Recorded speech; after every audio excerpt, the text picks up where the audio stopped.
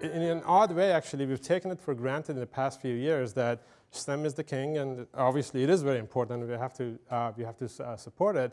But humanities are second-class citizens that are unimportant. And I would maybe would like to make a controversial statement here that I think actually some of the radical innovations going forward in the next few years or next few decades may come at the interface between humanities and, and high tech.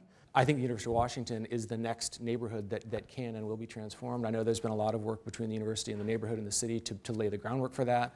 Sound Transit's ahead of schedule on the light rail. There's very exciting work being done. I think all of a sudden we'll be surprised to see you know, cranes popping up in this neighborhood. And I don't like, there's things to like and, and, and hate about the way South Lake Union was done. I think this will be different to South Lake Union, but I think there's a really exciting opportunity to build, in, in your words, a, a, city that's a vibrant place to be, where the university is, is the anchor of an, an, interesting, diverse neighborhood that has amazing companies and workplaces and amazing places to live for, for all ages, not just for students. And, and I think the University of Washington, if, if it continues to lean into it and the community continues to support it, can become the anchor of the most exciting urban neighborhood in Seattle and frankly make Seattle the most exciting city in the country. University typically are on the leading edge, the bleeding edge, and I think UW's done a good job, but this university, in some ways, in my mind, has no real competition in the market.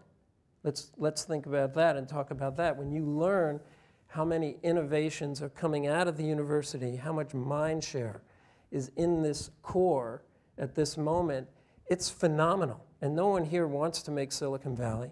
No one wants to make Cambridge because we have our own unique, distinct, I think, environment.